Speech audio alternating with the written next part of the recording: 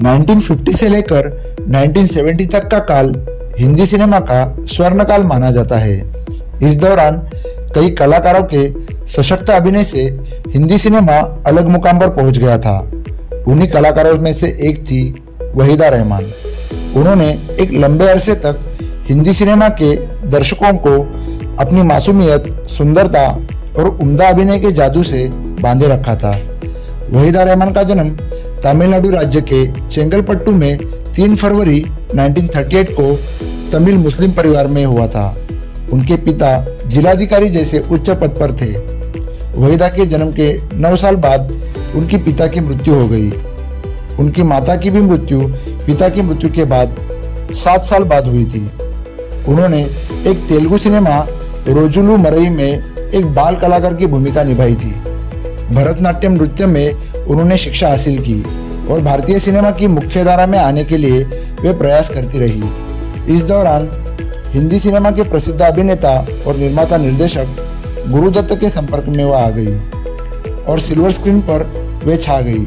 1956 में गुरुदत्त ने वहीदा रहमान को देवानंद के साथ सीआईडी में खलनायिका की भूमिका में लिया। यह फ़िल्म सुपरहिट रही। 1957 में गुरुदत्त और वहीदा रहमान की क्लासिक फ़िल्म प्यासा रिलीज़ हुई। यह फ़िल्म दोनों के प्रेम संबंध को लेकर काफ़ी चर्चा में रही। कहा जाता है कि 1959 में रिलीज़ हुई फ़िल्म कागज़ के फूल उन दोनों के असफल प्रेम कथा पर आधारित थी।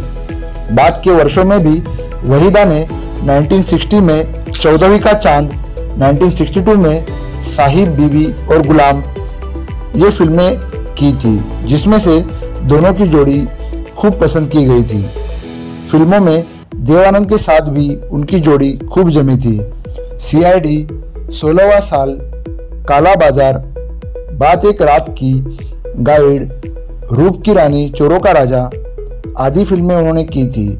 1962 में गुरुदत्त की टीम से अलग होने के बाद वहीदा ने निर्माता निर्देशक सत्यजीत रे की फ़िल्म अभिजान में काम किया।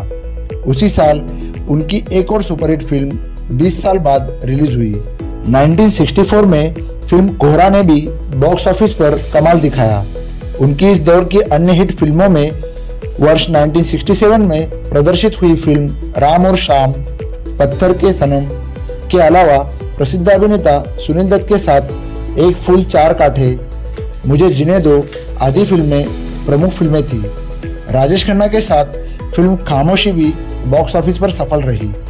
1959 से 1964 तक वहीदा रहमान सबसे अधिक मेहनताना प्राप्त करने वाली अभिनेत्रियों की सूची में तीसरे स्थान पर थी। 1966 से 1969 में वह अभिनेत्री नंदा और नूतन के साथ दूसरे स्थान पर पहुँच गई।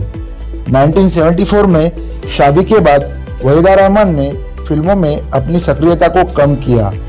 1976 से 1994 के बीच लगभग 24 फ़िल्मों में छोटी छोटी भूमिकाएँ की, जैसे कि अदालत कभी कभी त्रिशूल, नमक हलाल हिम्मत वाला कूली, मशाल, अल्लाह रखा, चांदनी जैसी फ़िल्मों में उन्होंने अभिनय किया।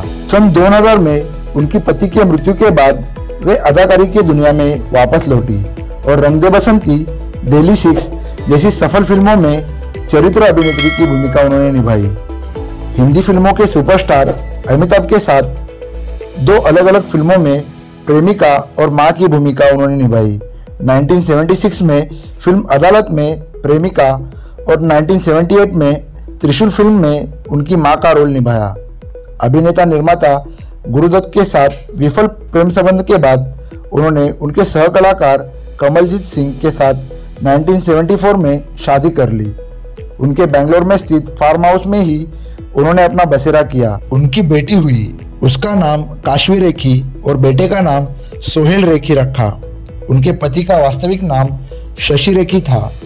सन 2000 के दौरान बीमार होने की वजह से वे अपने परिवार के साथ मुंबई, बांद्रा में बैंड स्टैंड स्थित साहिल बंगले में उन्होंने अपना बसेरा बसा लिया। उनकी बेटी काश्वी रेखी एक ज्वेलरी डिज़ाइनर है और बेटा एक मल्टीनेशनल कंपनी में कार्यरत है।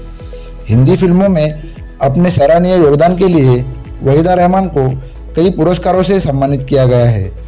फ़िल्म फेयर सर्वश्रेष्ठ अभिनेत्री, बंगाल फिल्मी संघ पुरस्कार, राष्ट्रीय फ़िल्म पुरस्कार सर्वश्रेष्ठ अभिनेत्री Filmfare lifetime achievement award, NTR राष्ट्रीय पुरस्कार, आंध्र प्रदेश सरकार इत्यादि पुरस्कार उन्हें मिले हैं।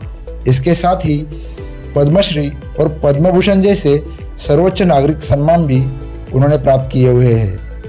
वहीदा का मतलब लाजवाब होता है। यह कहना गलत नहीं होगा कि हिंदी सिनेमा की सदाबार अभिनेत्री वहीदा रहमान ने अपने नाम को सार्थक करते हुए हिंदी सिनेमा को अपने लाजवाब अभिनय से रूबरू कराते हुए अभिनय क्षेत्र में अपना अलग मुकाम बनाया है।